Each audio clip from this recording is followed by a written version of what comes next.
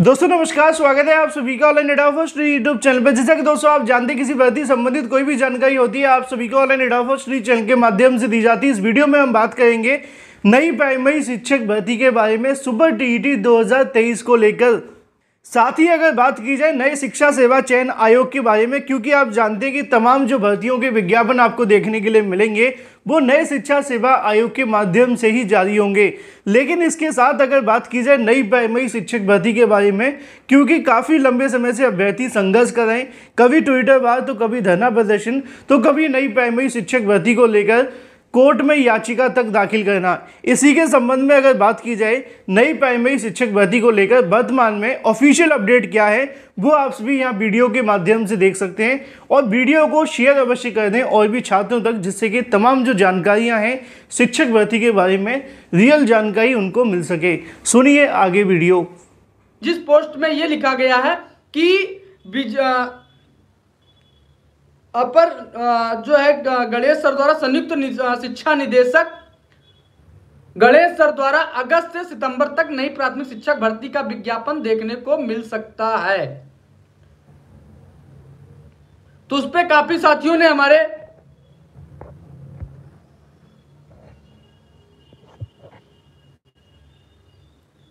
Comment किया कि ये भी सरकार का जुमला होगा, ये होगा, वो होगा, हर कुछ होगा। मैं ये नहीं कहता हूँ, मैं सरकार का समर्थन करता हूँ कभी। मैं ना कभी ये कहता हूँ, जब तक मुझे लिखित आदेश नहीं मिलता है, तब तक मैं किसी चीज़ का भरोसा नहीं मानता हूँ। मेरा ऊपर एफ़ आई दर्ज हुई है, जिसके तहत मुझे विभाग में आना जाना लगा रहता है, क्योंकि भाई पैरवी करना अनिवार्य होता है।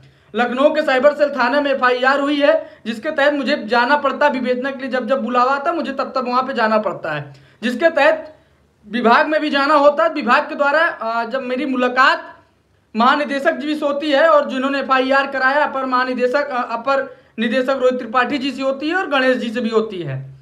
तो हुआ यू की मेरी मुलाकात हुआ, मैंने पूछा, सर, क्या भर्ती है? भर्ती हमने तो भर्ती के लिए लड़ा भी डीलेट भी किया, टेट भी पास हुए सी भी पास हुए, और नौकरी तो मिली नहीं, लेकिन एफआईआर ज़रूर मिल गया।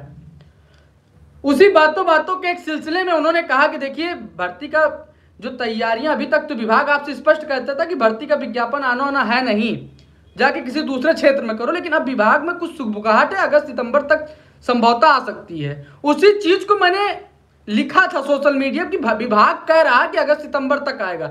ये मैं नहीं कह रहा हूँ कि आप भरोसा करिए, लेकिन उन चीज़ों को देखते हुए हमें हाथ पे हाथ रख के तो बैठना नहीं है। मैं इसलिए शांत सोशल मीडिया पे इतने दिन से था, क्योंकि मेरी मजबूरी है। मेरे ऊपर दबाव था, प्रशासन का दबाव था, मेरे ऊपर एक लगातार कार्रवाइयों का दौर चल रहा था। मुद्दा अपना सत्तानवे हज़ार शिक्षक भर्ती होना चाहिए। सत्तानवे हज़ार शिक्षक भर्ती आप अपने मुद्दे को रखिए, क्योंकि इस मुद्दे को पूरे भारतवर्ष में शिक्षक भर्ती मुद्दे से जाना जाता है। उत्तर प्रदेश की सरकार, उत्तर प्रदेश का प्रशासन, उत्तर प्रदेश का बेसिक विभाग, सब सत्तानवे हज़ार प्राथमिक शिक्षक भर्ती के ही नाम से नई प्राथमिक शिक्षक भर्ती को जानते हैं।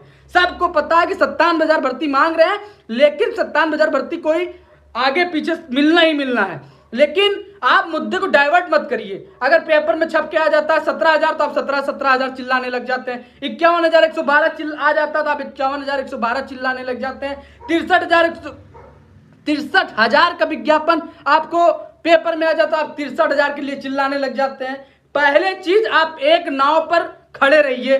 कभी भी दाएँ बाएँ मत होइए। सत्तानवे हज़ार भर्ती आपका हक है, आपका अधिकार है। नहीं तो आप आपको आधा समय बताने में मीडिया को, सरकार को, विभाग में यह लग जाएगा कि आप चाहते क्या हैं। क्योंकि आपने देखा होगा कि जब भी मैं सत्तानवे हज़ार भर्ती के लिए लड़ाई लड़ता था, तब तक जो है, विभाग, मीडिया उसको आरक्षण वाले मुद्दे से जोड़ देती थी। हमको बताते बताते कम से कम पच्चीस दिन, बीस दिन लग गए कि भाई ये नई शिक्षक भर्ती का धरना है। वो काम आप कदापि मत करिए, आप सत्तानवे हज़ार शिक्षक भर्ती पर अटल रहिए।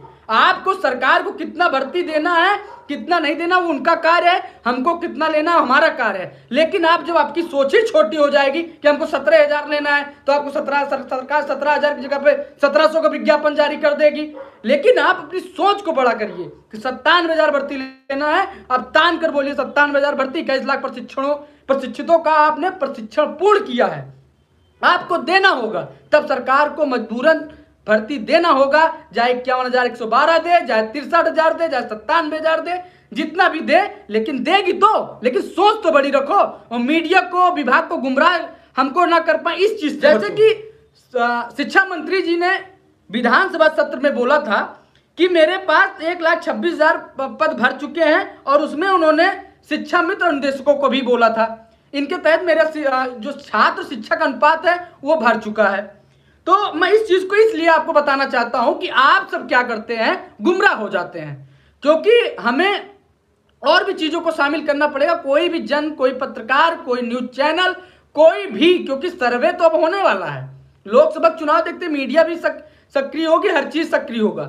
लेकिन पहली चीज़ ये भी ध्यान दीजिए कि जो ये शिक्षा मंत्री जी एक लाख छब्बीस हज़ार का रटा हुआ रटाया बयान बोलते हैं कि छात्र शिक्षक अनुपात में बराबर हो चुके हैं हम ज़्यादा भर्ती नहीं दे पाएँगे। पहली चीज़ तो ये अनुदेशक शिक्षा मित्रों को जोड़ के बोलते हैं अगर अगर जो है शिक्षा मंत्री जी एक लाख छब्बीस हज़ार पद भरने को स्वीकार करते हैं तो ये किस नियम के आधार पर इन्होंने शामिल किया है? क्योंकि एक तरफ़ सुप्रीम कोर्ट में बोलते हैं कि मान्य नहीं है दूसरी तरफ़ ये कहते हैं कि हम एक लाख छब्बीस हज़ार भर दिए। दूसरी दूसरी तरफ़ कि केंद्र सरकार ने भी बयान जारी किया था, सरकार, संसदीय, संसद की समिति ने सरकारी स्कूलों में नौ लाख अस्सी हज़ार ज़्यादा पद बताया है कि पूरे भारतवर्ष में खाली है, जिसमें राज्य उत्तर प्रदेश की सरकार में कम से कम सवा लाख पद खाली हैं। और इनको भरने के लिए बोला भी केंद्र सरकार ने, राज्य सरकार को आदेश भी दिया है। तो अगर शिक्षा मंत्री जी बोलते हैं, पद रिक्त, पद भरा हुआ है तो संसद की समिति इस आधार पर उत्तर प्रदेश सरकार को कहती है कि प्राइमरी विद्यालयों में आप शिक्षकों की पद भर्ती करिए? पहला चीज़। दूसरा चीज़ कि सरकार यह भी बोलती है कि पंद्रह लाख शिक्षा मित्र पूरे भारतवर्ष में है। तो आपने किस आधार पर बताया शिक्षा मित्र यहाँ पर उत्तर प्रदेश में सवा लाख?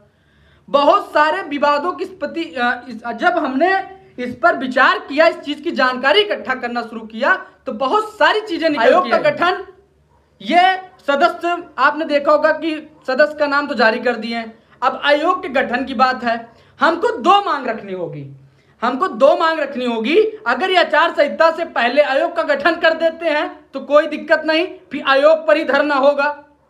अगर शिक्षा आचार संहिता से पहले आयोग का गठन करते हैं तो पूरी तैयारी के साथ आयोग में धरना होगा, रात दिन होगा। और कहा जाएगा कि नए आयोग का गठन हुआ है तो प्राथमिक शिक्षक भर्ती पर इनकी क्या तैयारी है? ये कब विज्ञापन जारी करेंगे? अगर नहीं होता है तो प्रदेश सरकार से लड़ाई है ही है। हम तो सीधा कहेंगे भाई कि इक्कीस लाख प्रशिक्षितों का आपने प्रशिक्षण पूर्ण कर दिया है तो विज्ञापन विज्ञापन आखिर कब तक? अगर कहते हैं कि भाई सीट नहीं रिक्त है तो आप, केंद्र सरकार आपको किस आधार पर, संसद की समिति आपको कहती है कि सवा लाख पद खाली है, उसका आख्या दीजिए।